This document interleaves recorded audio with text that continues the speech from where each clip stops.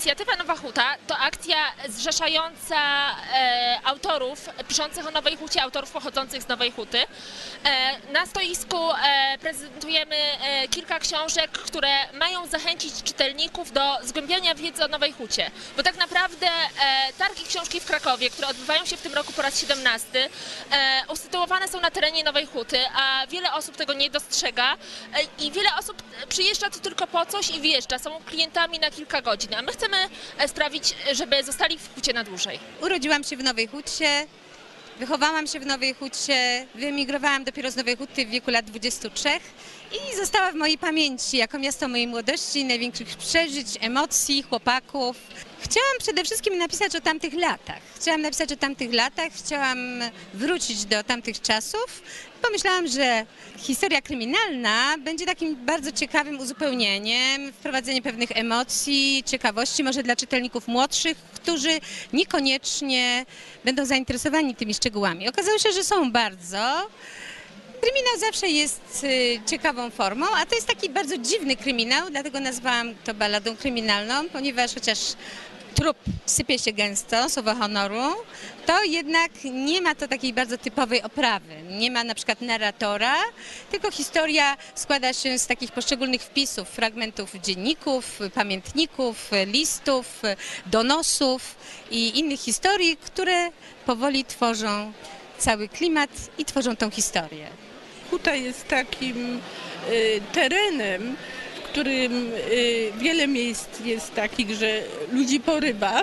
Huta i pozytywnie, i negatywnie. No wiadomo, jest to w tej chwili takie miejsce, gdzie się y, rodzi dużo pomysłów, ale z drugiej strony dużo ludzi jest porwanych przez UFO. A ja sięgnę, ponieważ pochodzę z czasów jeszcze, których był y, socjalizm. Tamte czasy byli ludzie porywani przez czerwone UFO. W dzisiejszych czasach ludzi różne rzeczy porywają. Alkohol, ale też takie rzeczy pozytywne jak tęsknota za czymś pięknym. Jeszcze raz ta sytuacja. Iwan, tutaj błąd Bastinsa, który niemal wyłożył piłkę Iwanowi, zorientował się, Polak strzelił. No i tutaj o wielkim szczęściu może mówić bramkarz Birger Jensen. Pamiętam ten dzień jak dziś z okazji pierwszej Komunii Świętej dostałem piłkę od y, ojca i ta piłka kosztowała 320 zł, wówczas niewyobrażalne pieniądze. No i chcia, zamarzyło mi się zagrać na prawdziwym boisku. I oczywiście zamiast do szkoły poszedłem tutaj na stadion Wandy. No ale że trafiłem też y, na takich łobuziaków jak ja, tylko trochę starszych, no to tą piłkę mi bardzo szybko zarekwirowali. I, I tak się stało, że zacząłem przychodzić tutaj z ojcem z nadzieją, że odzyskamy tą piłkę. No i tak natknąłem się razem z tatą na trenera Pomorskiego, e, który powiedział, że no, tej piłki to prawdopodobnie nie odzyskamy, a jeśli będę chciał się pobawić piłką, to zapraszam mnie na treningi. No i tak się zaczęła moja przygoda z piłką.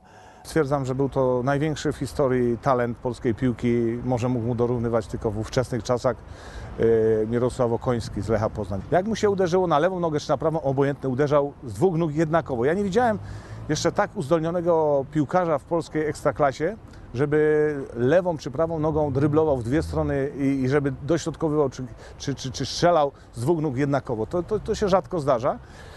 Natomiast e, szkoda, że tego talentu do końca nie wykorzystał, bo uważam, że mógłbym, mógł być drugim Messim polskiej piłki, e, bo był tak e, fantastycznie uzdolniony i w tak młodym wieku dostał się już do ekstraklasy do Wisły, przecież w wieku 17 lat gra, grać w Wiśle, gdzie byli sami reprezentanci Polski, no to naprawdę trzeba być mega kozakiem i on takim był.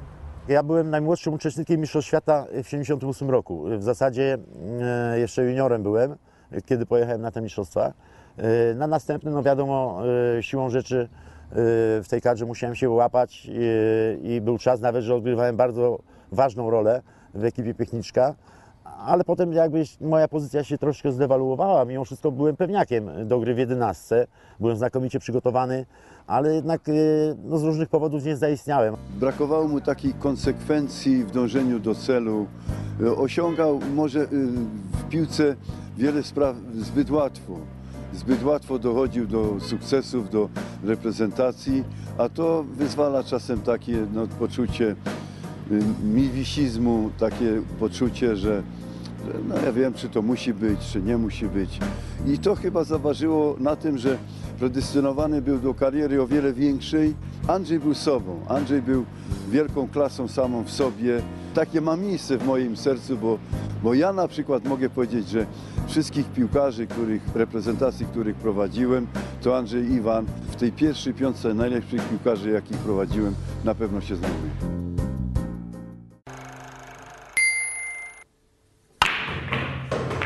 Bilard zacząłem grać ponad 15 lat temu, właśnie w Nowej Hucie, bo tam w kinie Świt, które zresztą już, już, już jako kino nie funkcjonuje, ani, jako, ani nawet jako klub bilardowy. Połknąłem tego bakcyla, spodobało mi się i zacząłem grać. To jest sport techniczny, on jest bardzo trudny i też nie każdy na jakimś tam określonym poziomie może grać, ale no nie o to chodzi. No, dla, dla mnie w bilardzie najważniejsze, żeby się, nie wiem, dobrze bawić, miło spędzić czas. Nie jest to sport barowy, tylko jest to e, normalny sport, który praktycznie różni się od innych sportów tym, że w 90% jednak rozgrywa się w głowie. Poziom gry już na jakimś tam etapie zaawansowanym, ligowym jest już bardzo wysoki i tak naprawdę jest to walka z samym sobą. Jedyny na świecie sport, w którym można przegrać nie popełniając żadnego błędu, no bo to jest taka zasada, że wygrany rozbija, więc jeżeli ktoś rozbije, coś mu wpadnie i skończy tam partię, no to, to przegrywamy nie uczestnicząc w grze.